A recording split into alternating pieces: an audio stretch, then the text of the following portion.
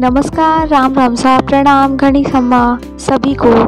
Capital news India channel पर आपका, मैं दीपशिका शर्मा, हार्दिक स्वागत करती हूँ। तो सभी मेरे प्यारे दोस्तों को रक्षाबंधन की हार्दिक शुभकामनाएँ। आज इस पर्व पर मैं आपके समक्ष भाई बहन के प्यार भरे रिश्ते का वर्णन कविता द्वारा कर रही हूँ। भाई बहन का मीठा बंधन। एक बहन अपने भाई के लिए होती है कीमती उपहार। कभी कभी बच्चों से शरारत तो कभी माँ सा प्यार।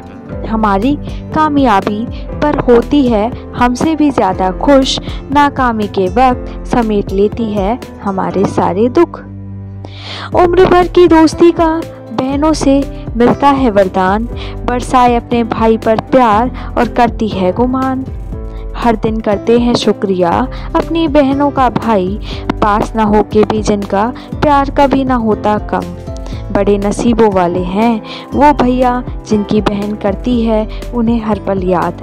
भाई बहन का प्यार बस यूँ ही दिन प्रतिदिन बढ़ता जाए।